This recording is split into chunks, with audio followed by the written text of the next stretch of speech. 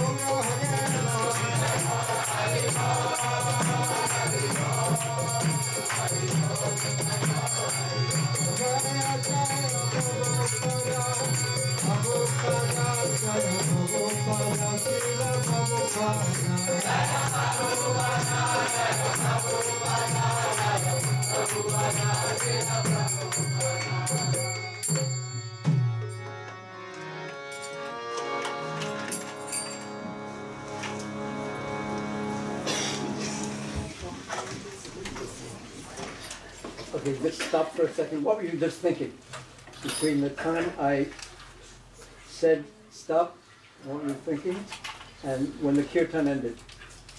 Raise it, no, no, we won't ask you what it was. But how many of you were able just to naturally keep the mantra going? You don't have to raise your hand. And how many of you's mind wandered? You don't have to raise your hand.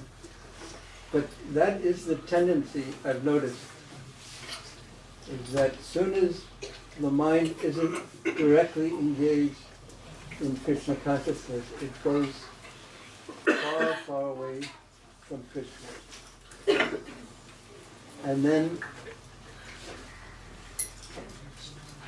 there are stages, like in Ruchi, uh, or Sati actually, where when the mind wanders, it wanders to Krishna, not away from Krishna. So that stage is very wonderful. And then when the mind wanders to Krishna, not away from Krishna, that means one is very attached to Krishna. What I'd like you to do now is find two or three people to talk to and discuss a little what you remember from what we spoke about this morning. We'll do that for a few minutes. Go ahead. Just turn around and find someone to talk to.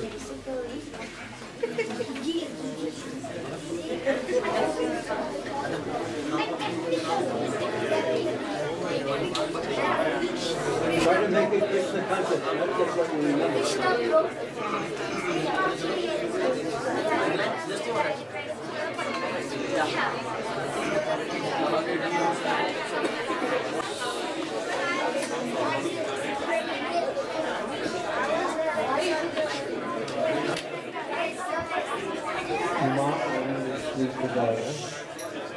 Krishna Srimati Bhaktivedanta Swami.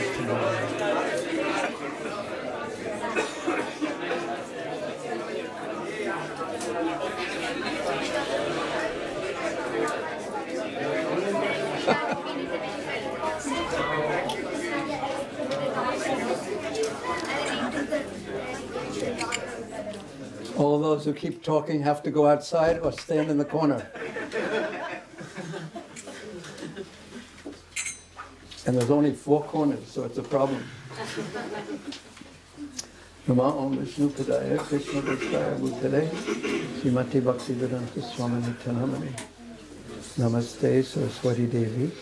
Gauravani Pracharane Navase Sasunyavadi Prasthati Devi Vitarane Om Ganatavinandasya Zunadjana Salakaya Chaksushi Militam Zena Tasmai Sri Gurave Namah Sri Chaitanya Manavistam Stapitam Venabhutale Sayam Rupakadamayam Dadati Sahapandanti Kham Vansakaupat Sarubhyascha Kripasandhuvayevacha Patitanam Bhavanego Vaishnavebhyo Namo Namah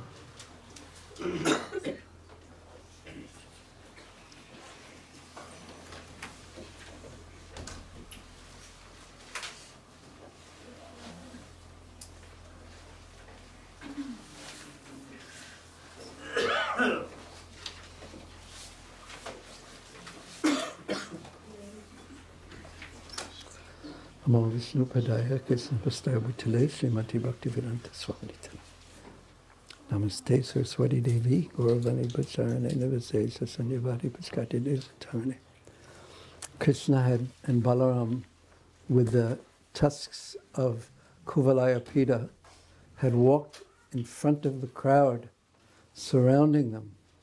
And Kamsa was sitting on the dais in the the seats of the seat of honor and on his one side was Vasudeva on the other side was Akrura.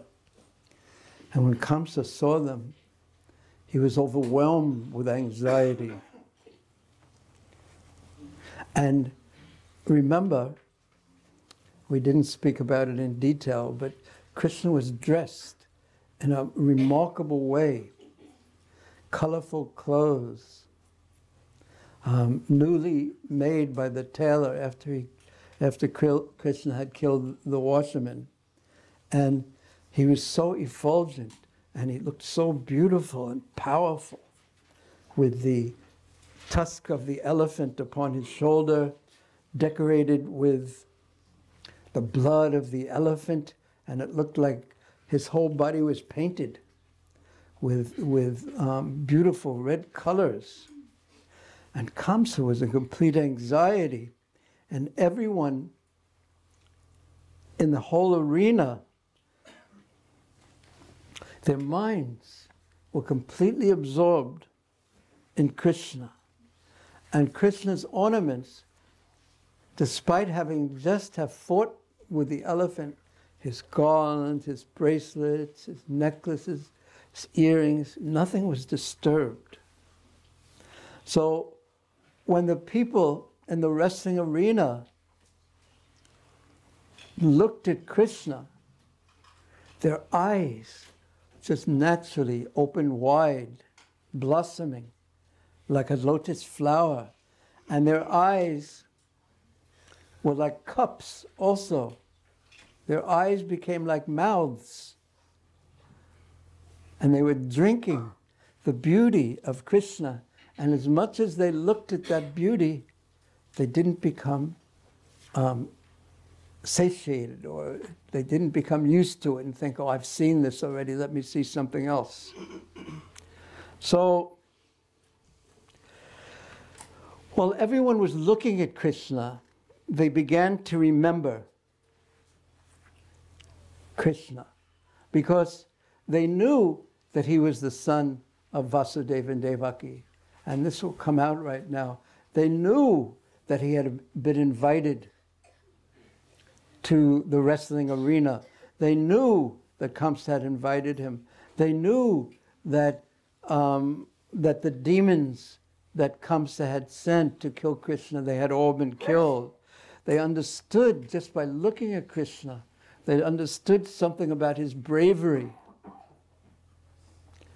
Previously, they had heard about this boy in nearby Vrindavan who was very, very beautiful, who had killed this demon, who had even done what?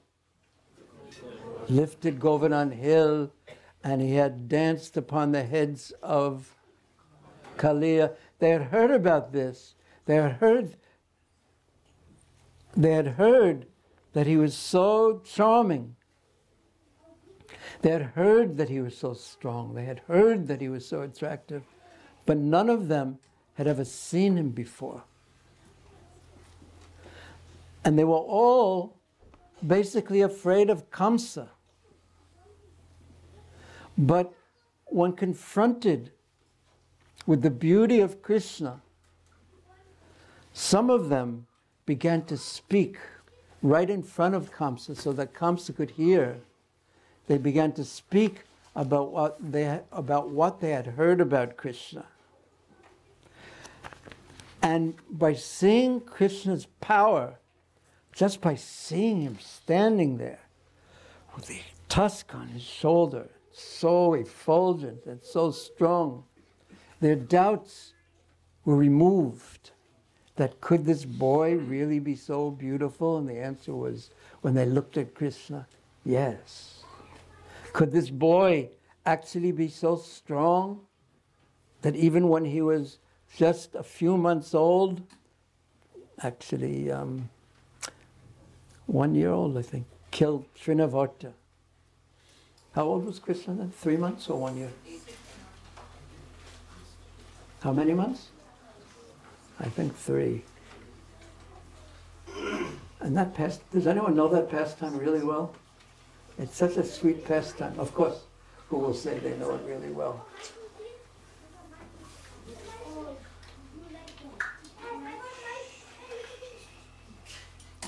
Like when boys play, when there's a group of 20 boys or something like that playing, it's one of the most amazing things when you put different size boys and if, and if you know they know each other and things, and they're playing, and it, it becomes like an organism. and they sometimes these the big ones are fighting with the little ones, and sometimes the little ones are crying, and then and then the, everyone's laughing because the little ones are crying, and then then the sides change and then the, that one's crying and this one's laughing and it just moves like a creature or something like that. And it's just it's just simply a, um, a display of fun basically boys playing like that. So krishna when he was with his friends it would be something like that do you ever play like that just play with a bunch of boys and do you cry sometimes does that make you cry mm, yeah? And sometimes you make them cry? No, okay. So they had heard so much about Krishna. Could this really be true that someone they had doubts? Could it really be true that someone is so attractive? And then seeing Krishna manifest before them in the wrestling arena, all their doubts were removed. And they began to speak, even in Kamsa's presence. Because again, you know, Kamsa was actually a Rakshasa. You know what a Rakshasa does? He eats little boys, especially those who wear blue shirts, are, who are naughty in class. So they have to be very careful. But he would eat Brahmins. Uh, he, was, he was terrible. He was terrible. He was actually the son of a Rakshasa. Yeah, did you know that? That's true. So the people began to speak. These boys are certainly expansions of the Supreme Lord Narayan who have come into this world as the in the home of Vasudeva. So there they're directly saying it. Yep, you sit over here. Huh? Excuse me? Excuse me? I didn't do anything. I didn't say you did anything. I just wanted you to be close to me.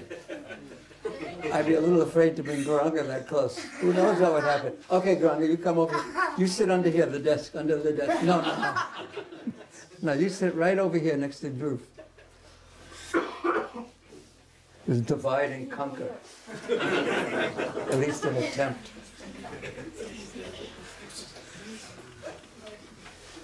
Okay, Gopal, now who are you going to, okay. You, you can disturb Shyamasundar. It's a bit dangerous, yeah? Okay.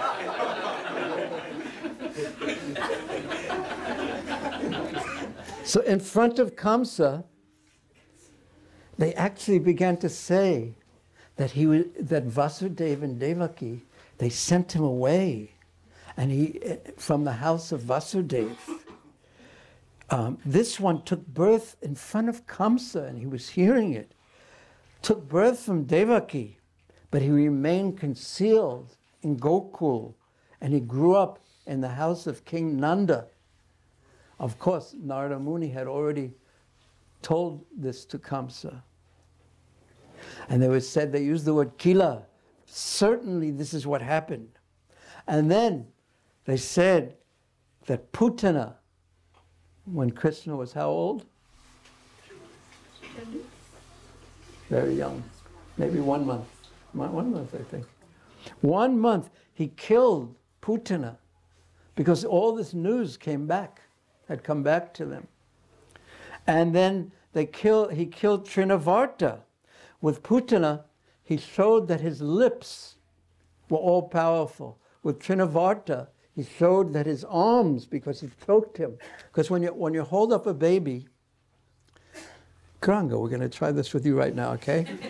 no, we won't. the baby, hold, when they're a little afraid, they hold on tightly. So that when Krishna was doing that to Trinavarti, choked Trinavarti, and Trinavarti couldn't, couldn't move him.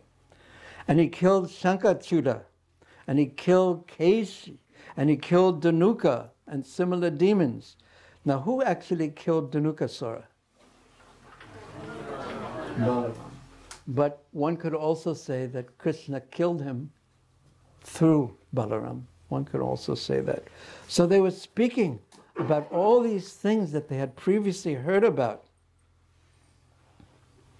And then, in the last verse describing the beauty of Krishna, they say that the gopis, they speak about the Braja gopis, who overcame all distress and experienced great happiness just by seeing his face, which is always cheerful, and smiling. His glances are always smiling and free of all anxiety, free of all tiredness. They overcame all anxiety and worry just by seeing the face of Krishna. And then they said openly in front of Kamsa, they hinted at his future pastimes.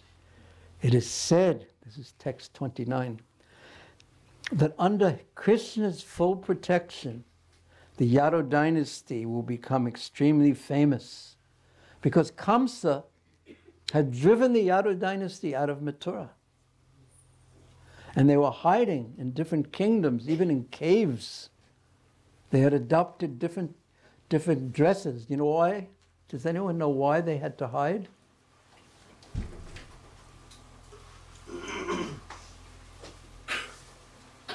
Yes. Because Kamsa was persecuting them? Yes. You know why?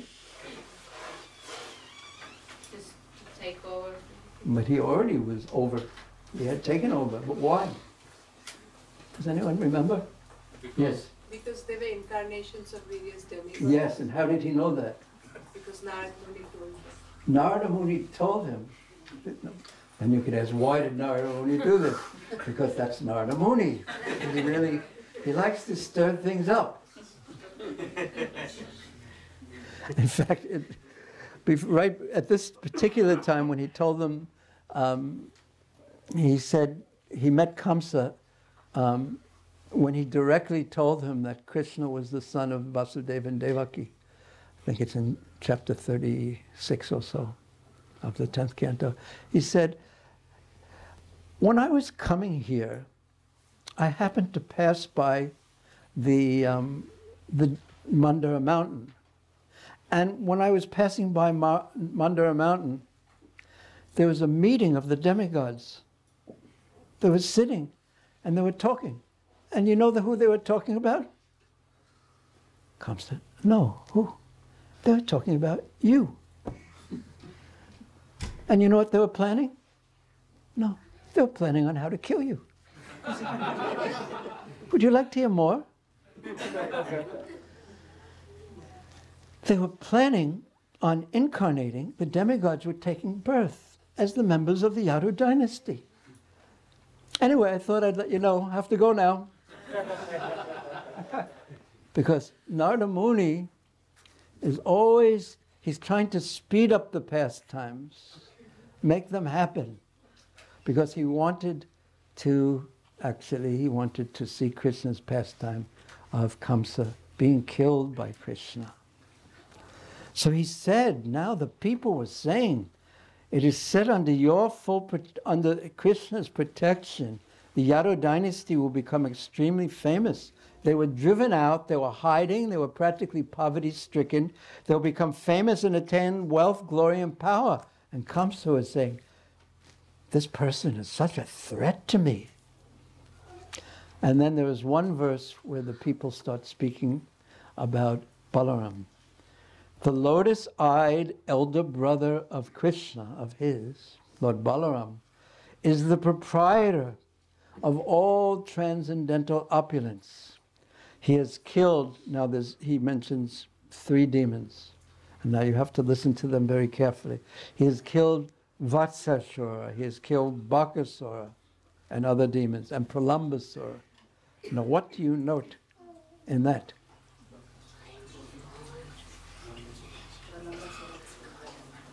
I hear murmurings in the background, but I get no one has raised their hand. I don't hear anyone brave enough to clearly say the interesting thing about this. Who is so brave? He, yes. Yes, and Pralambasura indeed was killed in a wonderful, wonderful way. He was killed by Balaram. So our acharyas explain that how, does anyone know how many kilometers it is from Maya, from um, Mathura to Vrindavan?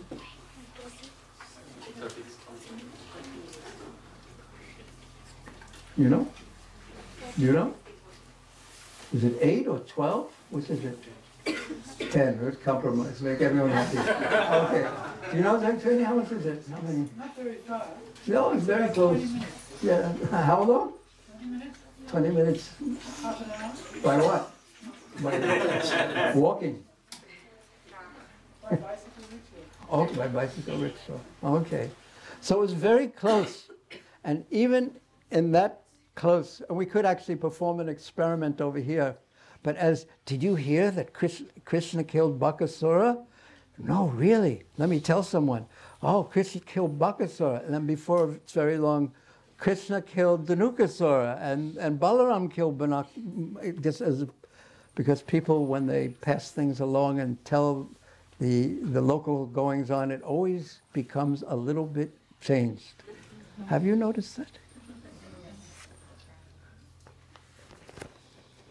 So, Vatsasura, Bakasura, and other demons.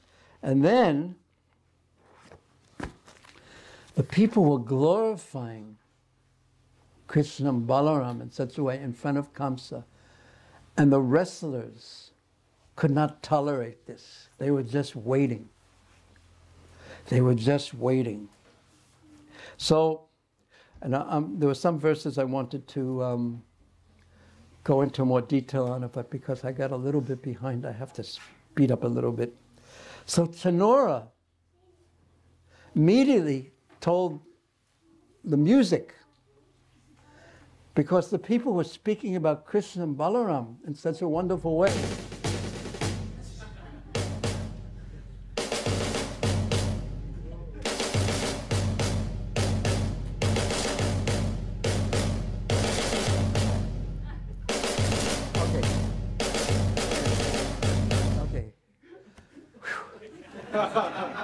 Was heavy. They, they used to, in the old days, when there would be battles, they would have people actually, the drummers would be playing just to, to keep everyone's spirits up so when they would fight, really. So, so immediately, Chanura said, start the music, start the music, like that, because he wanted it to drown out the praise that people were giving to Krishna and Balaram. What is that called? What word describes that mood where you cannot tolerate hearing the praise of someone else? Yes. You knew that. You knew that or you heard what the others were saying? No, I knew, I knew. Yeah. Enviousness.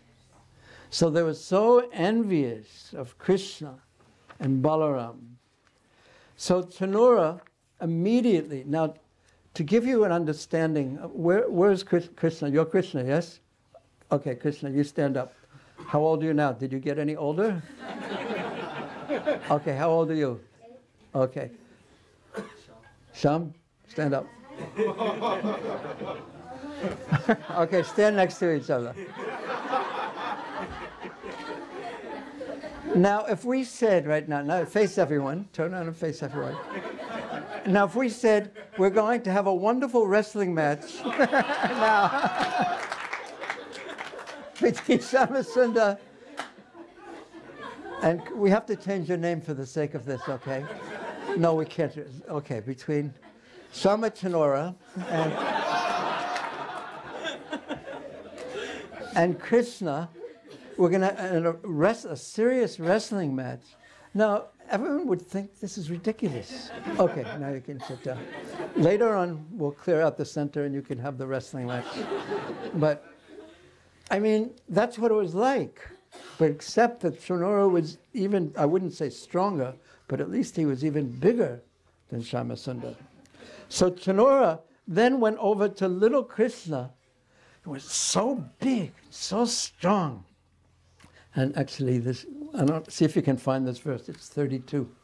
He said, Hey Nanda Suno, O son of Nanda. Hey Rama. So notice he didn't he didn't he didn't give Krishna any credit by saying before everyone was saying that he's a Kshatriya born of Vasudeva and Devaki. But now you're just now Nandasuna, you're the son of a cowardsman. And and Rama and Balarama, he wouldn't mention his dynasty even to give him the credit of being a Kshatriya. And then he says, Bhavanto Vira Samoto. Just imagine big Chanura. This is the wrong version. Is that yellow or is that my imagination? Huh? It seems to be a little overheated for it to come yellow. You mean it's going to change into white? Wow. This is wonderful.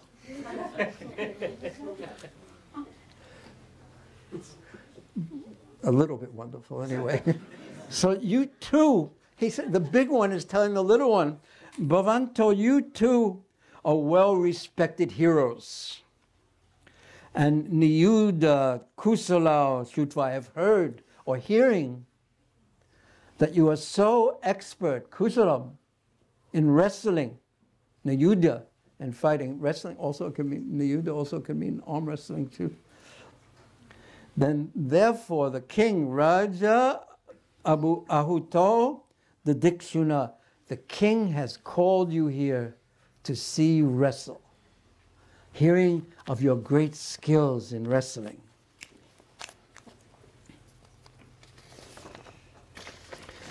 And then Chanura said, Those who are subjects of the king, who try to please the king with their thoughts, their acts, and their deeds, they are sure to achieve good fortune, and He wants to see you, because of your wrestling skills, wrestle with me. And those who fail to satisfy the king, they suffer the opposite fate. They get misfortune only. And it is well known that you cowherd boys, you are all cowherd boys, now, okay? Not, you're already cowherd boys. Gopal, you're a cowherd boy, yes? Yes. Yes, that we already knew because your name is Gopal. See, we know already that you cowherd boys are always joyful, as you're basically only doing two things. Actually, there's a third thing too. But they're always joyful, cowherd boys. It's much better than school, by the way, being a cowherd boy. Not that we want to get your parents angry at us. But what the cowherd boys would do every day, or, they would go out with the calves, and they just play all day long. And sometimes they would go swimming in the Yamuna, sometimes they would wrestle, and they would take care of the cows and the calves. So we know that you boys are very expert in wrestling. So there's the big, big Chanura teasing them and saying, Oh, you are very powerful and expert in wrestling. Therefore, since the king wants to see you display your powers, we should do what the king wants. Everyone will be pleased with us if we wrestle, because the king embodies all living beings. So, hearing this, little Krishna, he replied, little beautiful Krishna, with the tusk of the elephant on his shoulder, looking so beautiful and looking so effulgent, he replied, Yes. He actually, of course, wanted to wrestle with Chanura because he wanted to fight with the elephant because he likes to play, because Krishna is so playful. But Krishna replied, Oh, it is true. But we are, we are forest dwellers. We just live in the Van. We live in the Vrindavan forest. And yes, we are subjects of the king. And yes, we must satisfy his desires because we know that by satisfying him, and he uses the word parama anugraha, we will get the supreme mercy. Parama anugraha. But actually, um, our acharyas say that um, we will give him the parama anugraha, we will give him the supreme mercy by killing him. that will be very merciful to him because he's. And actually, the, the Devatas had, had, had, um, had prayed that these demons, that because when Vishnu, Lord Vishnu kills a demon, they don't get liberation. Only when Krishna kills a demon, liberation is granted. So the Devatas were praying, even Lord Brahma, I think you should be merciful to these demons and liberate them, they told Krishna, because they keep coming back and giving us so much trouble. so Krishna said, yes, we will get, we will certainly get Parama Anugraha. But, and this is very interesting what they said, we are just young boys Okay, stand up, Krishna. And we should play with those of equal strength. Hi, Viva, you stand up. We should play and wrestle with those of equal strength. Not with, Shyamasundar, you have to stand up now. Not with huge mountain like people like you. so, wrestling is good. Do you want to wrestle with them right now? Uh, no, I didn't think so. A gentle person. Well, there's only one other person this size. That's his father. Chanura and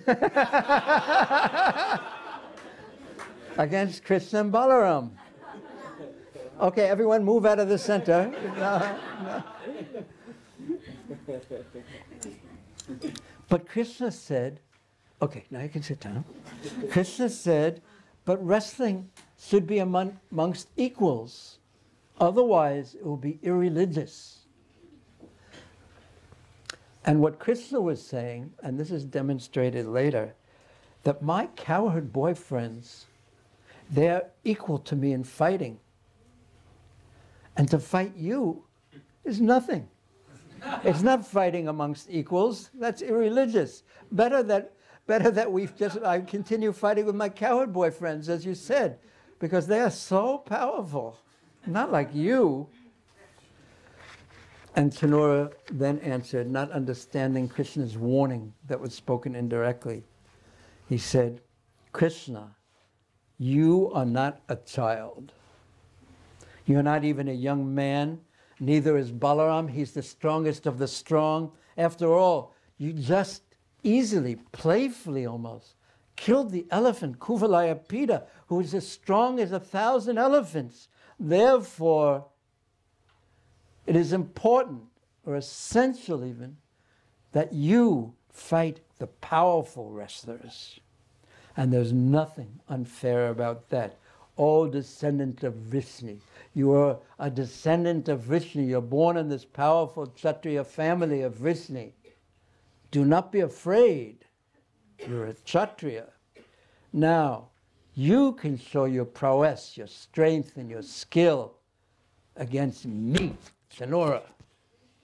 And Balaram can fight with Mushtika. Confirmed. so Krishna decided at that point to accept the challenge. And he paired off with Chanura and Lord Krishna and Lord Balaram with Mushtika. Now let's, let's see if, the, if we put that same music on, which is so thrilling, but a little softer. Softer. You feel like wrestling now? Yeah, I thought you would. Okay. So immediately, maybe you have to make the microphone up a little bit too. Seizing each other's hands. Now, wrestling is actually a great art. And Chanura and Mushtika were great expert wrestlers. It is said they crossed to the other side of wrestling skills. So they seized each other by their hands and they locked legs with each other, trying to. Does anyone study wrestling here? I'm not joking, this is serious business. There's Brazilian Jiu Jitsu. Yes, you've studied that? No, only Jews. Yes, you did? It's heavy, yes? You? Huh? Indian, Indian. Okay, who will you wrestle with next? Harshal. No. Okay, keep it on. I want to hear the music going. So they struck each other, fist against fist, knees against knees. They were pushing head to head and chest against chest. And Krishna, Srila Vishwanath Chakravarti Thakur, because Krishna does everything in a special way. So he decided, because as they were pushing their fists like this, Krishna decided to wrestle with one pinky out in a very delicate way. And, and Chanura looked at him and he thought, well, if he does it, I have to do it also. So he also, even though he didn't know how to do anything like that, so he said, I, if I use this and he's using this, it won't look very good. We need more music. We have to get the mood going. So each fighter, they contended, because Krishna wanted to play wrestling. He contended, raise your hand, any of the boys who don't wrestle with their friends. Do not wrestle with your friends. You wrestle with your friends, Granga? Yeah, okay. You? Yeah. But the girls, raise, girls, do you wrestle with your friends? No. So this is something that is great pleasure. When I was in, I used to wrestle with my friends too. You too? You too? You? You? You? Did you used to wrestle with your friends when you were young? Yeah. Chasmawala. yes. Did you used to win or lose? Sometimes the win, sometimes. Yeah, I knew you would say that. Was anyone undefeated? Um. Okay, now I'm so brave, because then they would have to fight Kamasunda. So they were picking each other up even, and throwing each other down, and they pushed each other away, and they were holding each other down. And the, the, they didn't even care about their own bodies as they were fighting in the excitement of the match. Of course, there's nothing that can hurt Krishna's body, but this is what it looked like to the outsiders.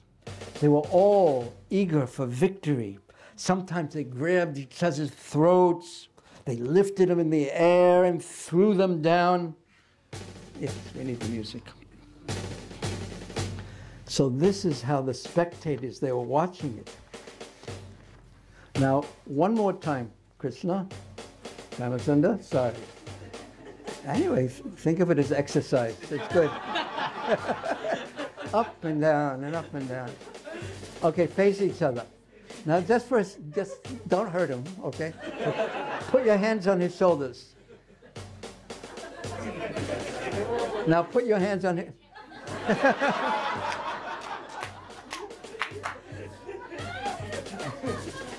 you get the point. So the audience, okay, the audience, all the people who are watching this. Now, these verses are very, very, very interesting. The people are just spontaneously speaking, and they were complaining. They were complaining about this unfair match. And guess who is, who was doing the complaining? I'll give you a hint. There were men and women in the wrestling arena, I mean, in the audience. And it wasn't the men who were complaining. Who do you think was complaining? The ladies, yes. They're complaining, this is not fair. This is improper. This is irreligious. The members of this royal assembly are committing an irreligious act, and the king is watching this fight, and he's not stopping it. That means he wants to see it. And the ordinary people, following the example of the king, they're also watching it. But it is irreligious, it is unfair. And what comparison? How could you compare these huge mountain like wrestlers whose limbs are as strong as thunderbolts and their bodies resemble mighty mountains? How you, could you compare it to these two gentle boys? Two gentle boys stand up.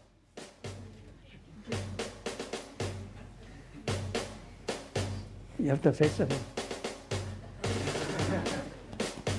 How can these big adult fighters fight these two gentle boys? And their limbs are so tender? This is improper. Religious principles are certainly being violated in this assembly. And if somehow or another, and this is an interesting instruction, if somehow or another we have wrongfully entered this assembly to see these things, we should leave or we should speak and express the impropriety, the irreligion that is going on. So a person should not enter an assembly if he knows that the participants are engaging in impropriety. And if after entering the assembly, if that person fails to speak the truth, or speaks falsely, or said, I didn't know, there is sin incurred.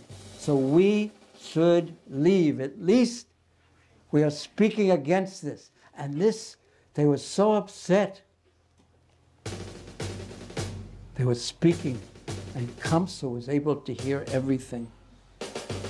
So these, in four verses, the people complained, the ladies complained. But then another group of ladies just looked at Krishna. And they could not help but admiring his beauty and his expertise. Just see the lotus face of Krishna as he moves so quickly around his foe.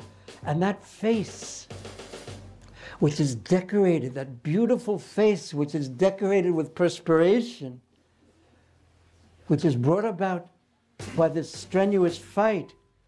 It resembles a lotus, a soft, beautiful lotus that is covered with dew.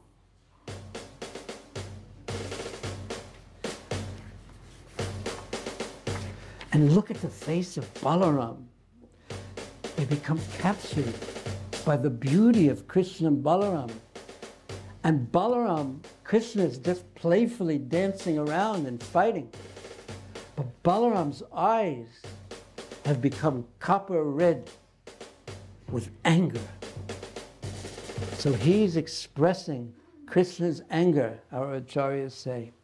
But he's laughing as he does this. And that laughing makes his beautiful face still seem more beautiful. Look how absorbed Balaram is in the fight. And then 13, 14, 15, 16. There are four verses um, that express a different mood.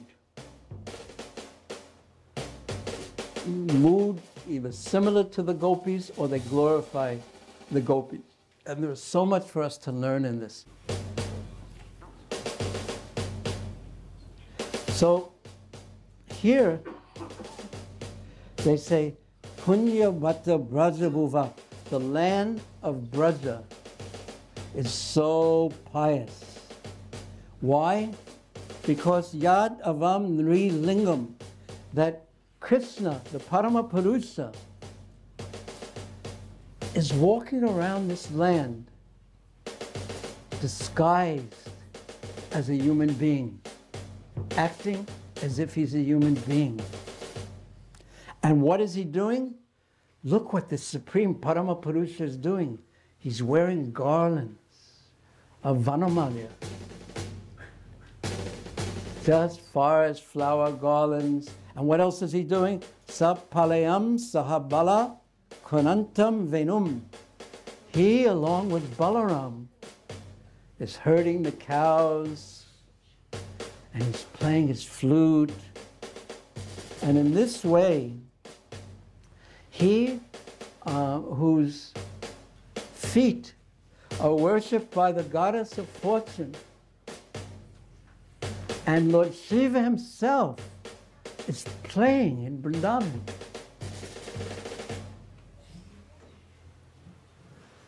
Okay, just turn, you can turn that off right now. So, on one hand, they're criticizing Mathura because they're saying when Krishna's in Vrindavan, look what he does.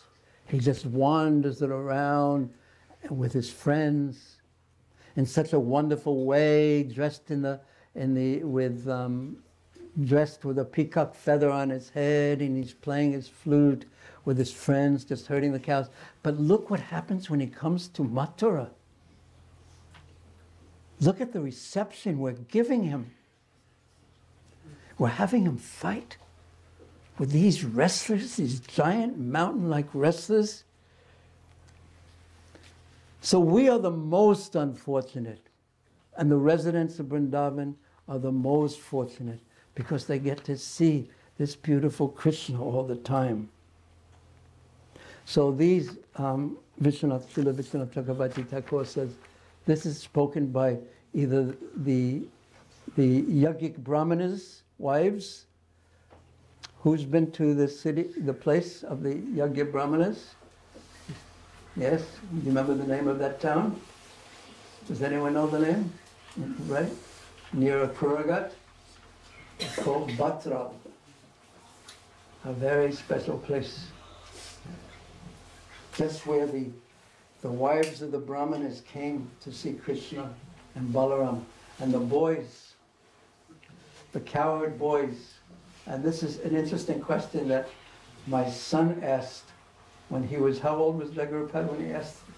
He was like eight years old or 10 years old or something? You don't know the question when you hear the question. That's a lot of questions. Yeah. He said, if the cowherd boys are only concerned with Krishna's pleasure, how come they said, Oh, we are hungry, Krishna, and please, please get us some food? If they're only concerned with Krishna's pleasure. Do you remember that question? How old was he? Ten? Ten. Okay, all 10 year olds stand up. Okay, so, he, so that question could be asked. They were hungry and they asked Krishna to supply them food. We thought that they were only concerned with Krishna. And the answer is given that if they would have said, Krishna, you must be hungry because there was no food for that day. When someone says, You're very hungry, what do you say? Oh, no, no, no, no, no. But when someone says, I'm very hungry, a dear friend, then immediately you'll want to give them food and you'll take food because you're also hungry. So, in because everything in Braj is a little bit, what's the word? Nothing is very straightforward in Braj, but everything, everything in Vrindavan, and this is what Vrindavan means, everything is centered around Krishna's pleasure. So this is described in, in Adi Lila, um, Chaitanya Charitamrita, chapter 4. It doesn't make a difference if the, if the gopis are combing their own hair, if they're dressing. It looks like they're trying to make themselves beautiful for their own pleasure, but everything is done for Krishna's pleasure. Just try to understand what love for Krishna actually is. Try to understand how, how unselfish it is. Oh, excuse me, it's time for me to take some medicine. We have a medicine break. Now, after, how many of these? I just take one sip of this, yes? Okay, it's homeopathic medicine. And then how many of these? Don't look. Look at that over there. It's amazing. Did I trick you? Yes? You're easy.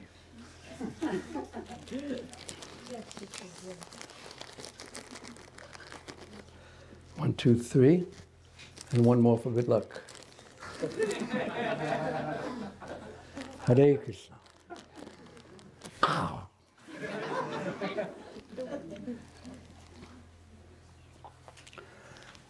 So we should we should actually try and understand what love actually is.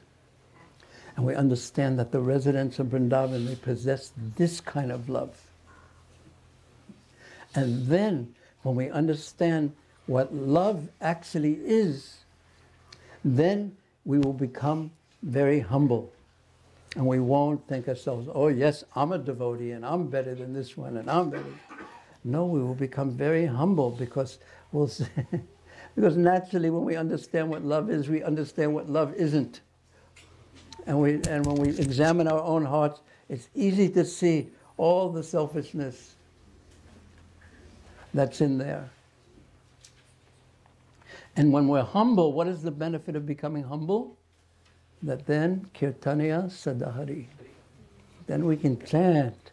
Then we can chant in relationship with Krishna, calling out to Krishna, if, if we actually have that desire. And if we don't have that desire, and we understand the nature of the material world, and we have desires in the material world, and if we don't have a pure desire to love Krishna, then we can think only if, only if one day, one day. And when we see someone who is more advanced than us, who is more um, less selfish than us, then we can serve them. And life is more natural when we are humble and it's, it's easier. So, by understanding the actual love of the residents of Vrindavan, that must make us more humble. So, they continue to speak in these four verses. They say in the next verse after this one. Go ahead.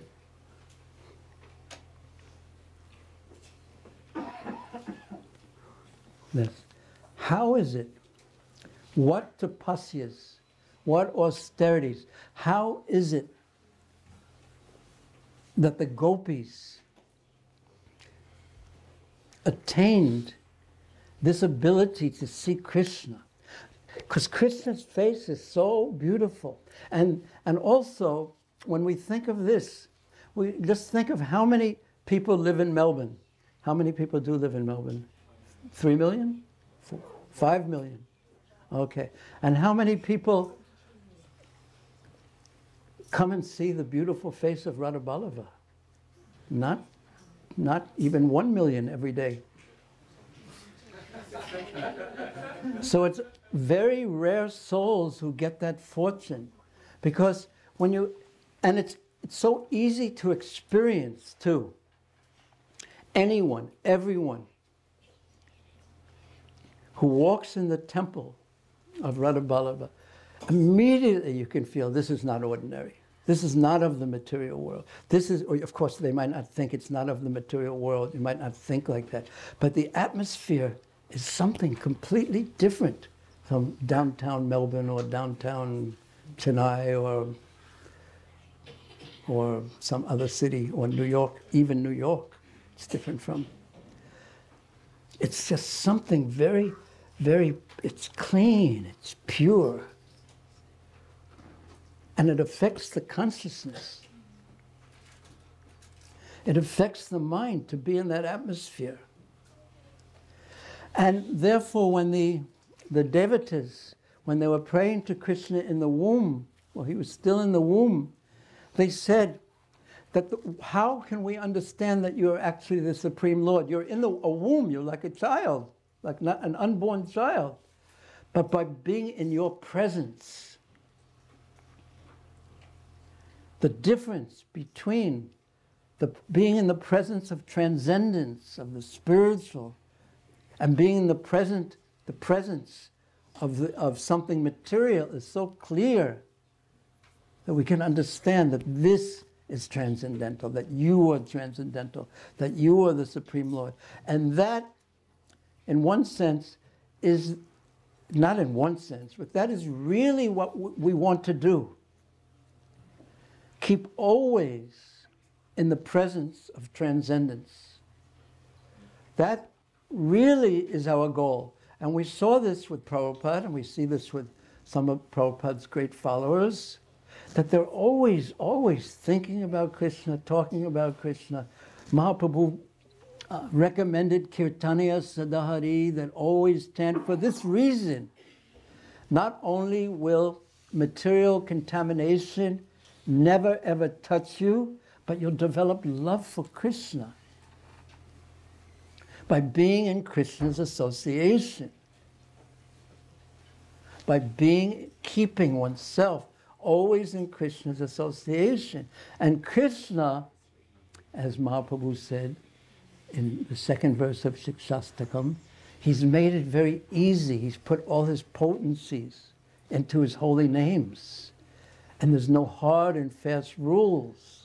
The deity doors, the curtains close, but there is no closing of the curtains of the holy name. At any time, at any place, we can chant. But the second that the curtains close, and the second we go outside, and the second we start taking prasadam, and the second the class ends, immediately the mind tries, it immediately holds on to something. At least I can speak for myself, not for all you great souls. But the mind tends to go immediately to the material platform and think about material things on one level or another, centered around me, and I'm going to do this, and I have to do that, and I, I want to get this, and I'm afraid of this, and I want that, and I have to do this. And immediately, anxiety comes. So we should recognize the goal, and it is, and it is possible. And that goal is to keep ourselves always in transcendence, touching transcendence by consciousness. It is possible if there is some love for Krishna. And it is impossible by the strength of one's material intelligence, even if you know it's the best thing. If you say, from now on, I'm only going to think about Krishna, it just can't be done. From but what happens if one wants to be better than one is, but doesn't have the power? That's called humility. And then one can chant in that mood. One can pray in that mood. One can worship the deities in that mood. But unless we hear about what transcendence is, what purity is, then we won't know. We won't have even a glimpse. So these residents of Mathura, look at, listen to how they describe Krishna and why they say that the gopis must have performed austerities. They say that they see the form of Krishna, Amus, Amusya who is Lavanya Saram, who is the essence of loveliness. We see lovely things, but Krishna is the loveliness in lovely things. Asamordhvam, no one is equal to him in loveliness and beautifulness and attractiveness, and no one surpasses him. Ananya Siddhim, and it's not that his ornaments make him perfect, but he makes the ornaments more beautiful. I once had the fortune many years ago to watch um, it was many years ago when they allowed these things to watch Tota Gopinath being bathed early in the morning. Raise your hand if you've seen Tota Gopinath. Oh, he's so nice. He's so nice. Gaurang, have you seen Tota Gopinath? Why? Who has? Yeah? He's wonderful, yes? And have you seen little girl? What is your name? What is your name?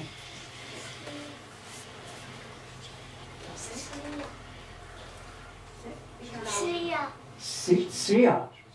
Shreya. Oh, what a nice name. Have you seen Tota Gopinath?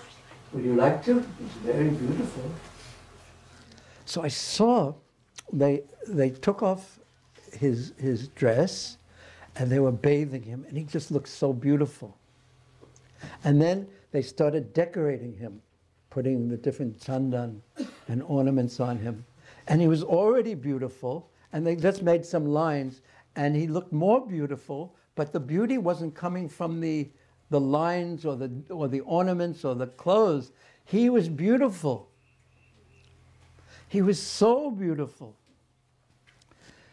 And these he and he made the ornaments worthwhile, practically speaking. So this is Krishna. And one can see Krishna every day if one is very fortunate. So, this is what they were saying, because we all have definitions in our mind. We'd all would like to be more fortunate. So, what would it take for you to feel that you are more fortunate than you are? Or here is what the residents of Mathura think upon seeing the seeing Krishna's form, that this is fortune. But again, unless our consciousness is correct, just like the different people saw the wrestlers, I saw, the, saw Krishna when he walked into the arena in a different way, we won't see Krishna with this kind of consciousness or this kind, we won't be able to see his beauty and it won't be able to make that kind of impression in our consciousness, in our hearts, unless our consciousness is correct. So, how to have correct consciousness? This is why. So that the process of seeing, of chanting, of reading, of hearing, it will be effective. This is why um, we follow the principles that we follow in chanting our rounds, etc., etc., to make our consciousness clean so that when we see Krishna, we'll see Krishna, so that impression will come to our heart. When we chant, we'll be in touch with transcendence, so that impression will come to our heart. So we can see the difference, clearly perceive the difference between being in transcendence and being in mundane consciousness. And then at some point, at some fortunate point, we'll say that I've had enough of being in mundane consciousness. I've had enough. I don't care. I'm just going to chant and chant and chant and chant. But don't wait till the end of your life. It's very difficult then. So they say these, this, this vision of Krishna that the gopis were seeing every day is so difficult to obtain. It is the abode, the only abode, ekanta dhama, yasasriya aiswara. It is the abode, is where beauty lives, is where all opulence lives.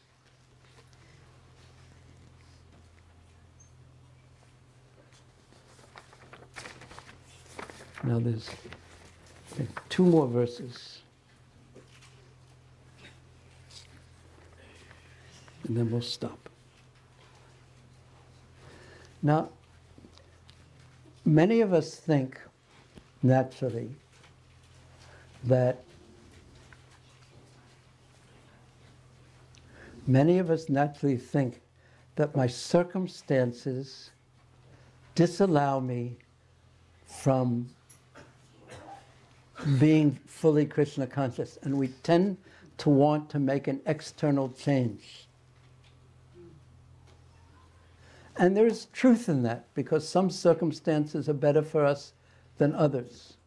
But listen to the consciousness of the gopis that the, that the ladies in the gallery in front of Kamsa, looking at the form of Krishna, look what they're saying about the gopis after saying how fortunate they are.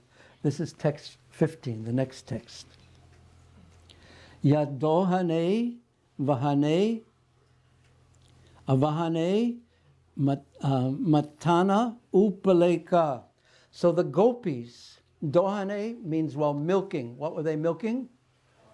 Cows. Avahane means threshing, the different wheats and things like that when they were separating the. Do you know what threshing means? Do you know what it means? When you grow grains like wheat and you separate the outside from the actual food that is eaten, it's called, the, the, the separating process is called threshing. Do You understand? Did you ever see any grains? Yes. Where? In India. How long? Did you just get here? From India? Okay. Someone said, what's your name again? Neve. Huh? Neve. Neve. Yes. We should show you some grains. Did you ever see grains growing in the growing in the fields? Did you ever see? Oh, I remember when I was when I was moved to Gita Nagari, and I saw they were plowing up the potatoes in the field, and I saw how many potatoes came up from under the earth just by plowing, because I, I I'd never saw I'd never lived in the farm before, and I'm a city boy. I thought potatoes come from the supermarket, and I was wondering why they always had some dirt on them. And then I became fully realized upon seeing this. And they were so plentiful, there were so many of them. And it was a shock for me. It was a wonderful shock for me.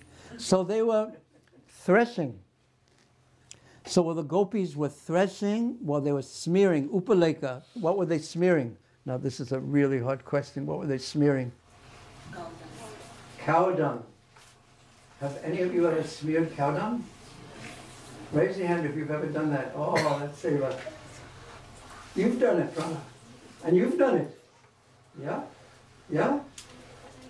It's, it's quite amazing, actually. One time um, we, we were in Bangladesh at um, Prem Toli, the place of Narottama Thakur. And, and there was, there was, the culture was, even though it's, Bangladesh is a Muslim country, there was, there was some um, in Premtali, there was a, a Vaishnava family taking care of the place of Narottama Thakur. And we, and we didn't speak any Bengali, and we just got off the bus coming from Dhaka. And Jagattarini Mataji and I, we just went to the, the place and went. And the lady who answered, uh, like a grandmotherly lady, she couldn't speak any English. And they, she invited us in, and we ended up staying there for four days. And this is Vaishnava culture. It's so amazing. And this is a cramp in my left leg again. But Vaishnava culture is so amazing. And there was the river where Mahaprabhu had the river Padma had deposited prem waiting for Narottama Thakur. And then she would come to us and say, Seva, Seva. And usually when, when someone says that to you, and if you're near a temple, they want you to do something. but she said, now, it, because it, it, this is prasadam seva. She would say that now it's time for you to take prasadam. She would say, seva, seva. So she would cook for us, and then she sat us down, and then after, when she fed us very, very simple but wonderful prasadam offered to the deities, and then after, she would take some cow dung, and she wouldn't wash the place where she fed us, but she'd just take some cow dung and spread it over, smear it over the place. And the atmosphere was so, so auspicious because of this. So this, this culture, this Vaishnava culture is actually so, so, um, so different. I know in, in, where, in New York, I don't know how it is here, it's the same here. Someone knocks on your door and the first thing is just, the thing moves out of the way. They, you look out to the little hole. Okay, who is it? what do you want? is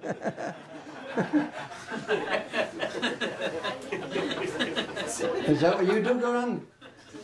You do that too once. I don't have that. I can't okay. Huh? I have, I can't reach it. Okay. So whatever they were doing, whether they were swinging, um, taking care of their crying babies, or sprinkling water everywhere on the ground, or cleansing, whatever they would do, whatever they were doing, Gayanti Chayanam Anurakta Dio Asru Kantya. They would be singing about Krishna and not mechanically singing about Krishna.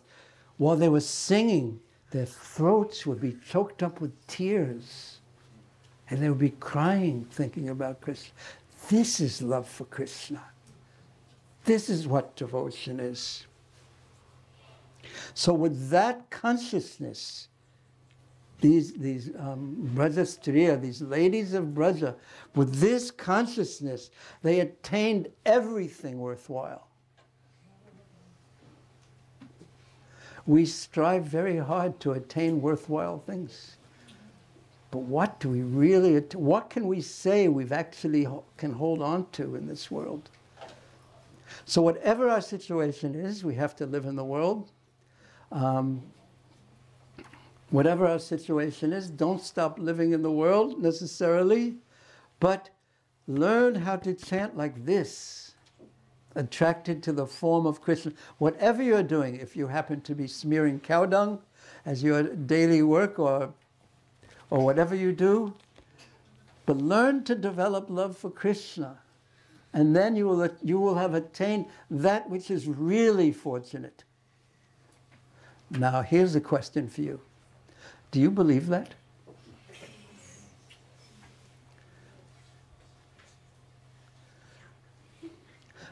I just I was listening to a lecture where someone said it was he wasn't a he wasn't actually a devotee, but he was a very thoughtful person. He said, People ask me if I believe in God. And I hate that question. And I thought, why? He said, Because do you know what it means to really believe in God?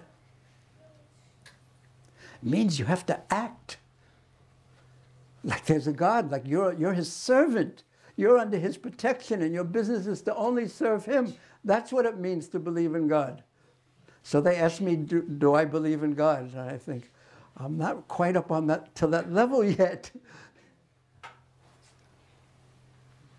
But this is what love of God is. This is what being, being a devotee is. It's natural. It's complete. And it awards everything.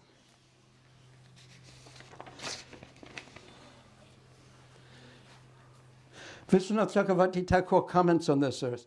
Even while doing their household chores, the gopis were not stopped from drinking the nectar of Krishna's sweetness. When they're milking the cows and doing other chores, such as swinging or sprinkling water on the ground, they would sing about his name, qualities, and form. They were, and, and this is the interesting part of this in one sense. They were completely attached to Krishna but Krishna, because of their love for him, he was completely attracted to them. And he carried them in his heart. Because usually we think it of the other way around, that the great devotees carry Krishna in their heart. But Krishna also carries the great devotees in their hearts. Because they're always thinking about him and he's always thinking about them. So this is wonderful. This is Krishna. This is the supreme personality of Godhead. This is Krishna, the person. Because we mostly keep our mind on what our responsibility in the relationship with Krishna is, and that's proper. We should think that our duty is to serve Krishna. And we're not supposed to think of what Krishna's duty is in relation to us. But here it describes how dear the devotees are to Krishna. And his transcendental, unlimited heart is so big, he has room for even more devotees than fit in this room right are in this room right now. That's why he is the Supreme Personality of Godhead. So when a devotee actually understands that Krishna is protecting him, he's trying his best to serve Krishna. And Krishna is not just saying, more, give me more, I want more, I want more, do this, now do this, now do this, now do that. But he's a person. And when something's offered to this person with devotion, he accepts it. And he remembers it. Remember how he treated Ajamil, who was calling the name of his son. And for that reason, he wasn't, didn't even mean Krishna. He was calling his son. And for that reason, how many children are named Krishna in this community? how many? Eight. Eight Krishnas. We want unlimited Krishnas. And how many Hayagrivas are there? Okay. So, because Krishna was completely attracted to them, they are considered so fortunate. Now, this is a meditation for devotees. How to act in such a way that Krishna becomes attracted to us.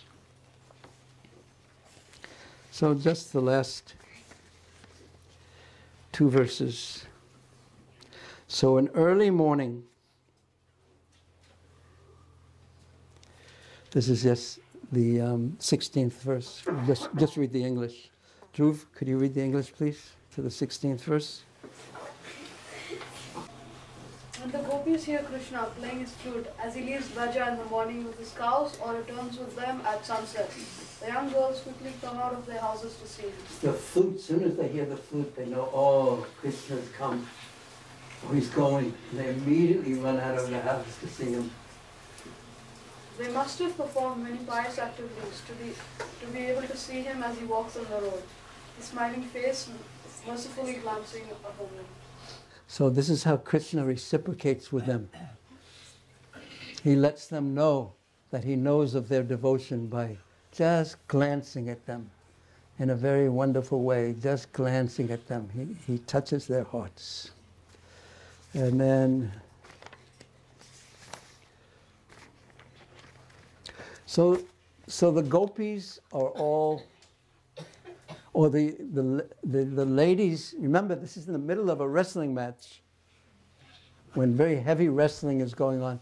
And Krishna hears the anxiety of, of, the, of the people of Mathura and he decides to end the wrestling match and immediately kill Chanura and Mushtika. And that's what we will discuss tomorrow morning, Krishna willing.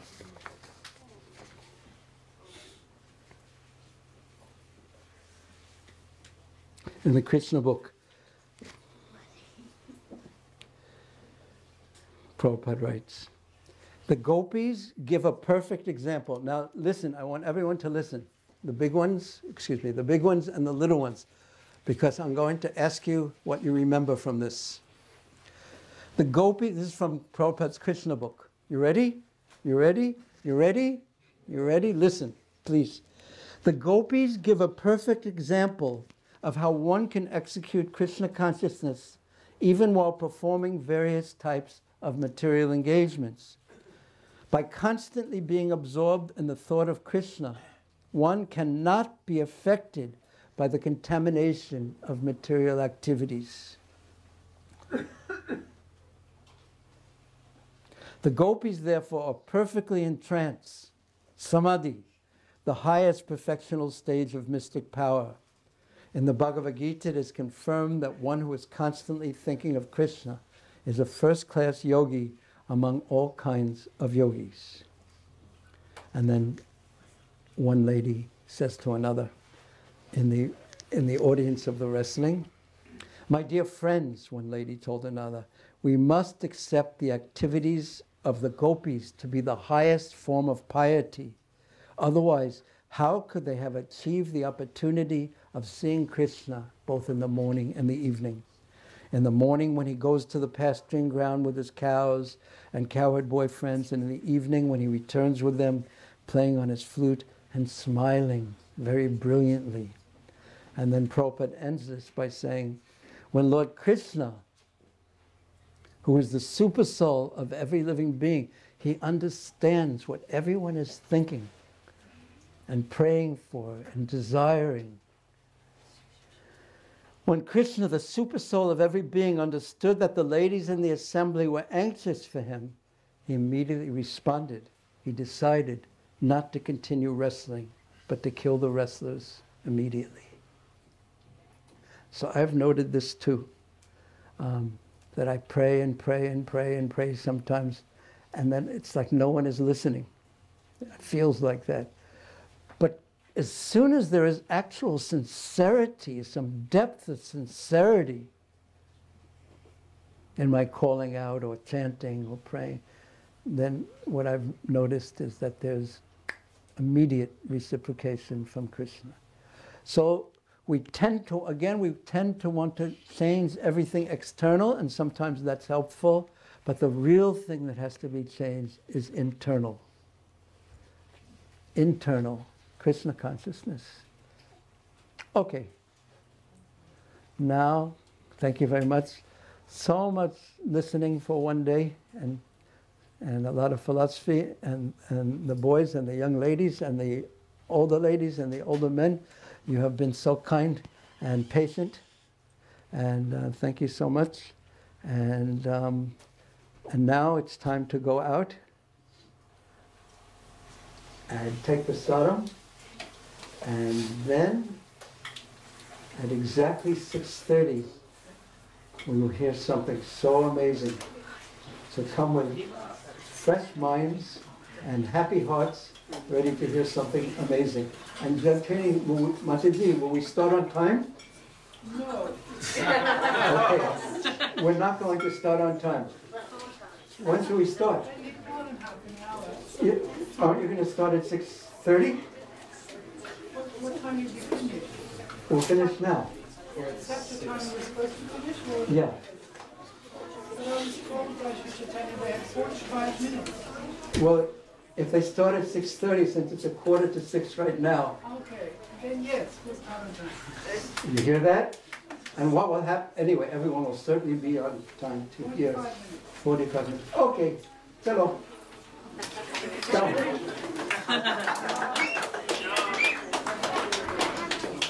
Girl, you were so good. Was it difficult?